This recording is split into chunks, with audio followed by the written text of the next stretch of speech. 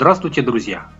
Вчера закончился популярный на весь мир музыкальный конкурс «Евровидение», в котором победил представитель из Нидерландов Дункан Лоуренс. Этому шоу вот уже 64 года, и за столько лет на различных сценах приняло участие множество певцов, и лишь некоторые из них побеждали.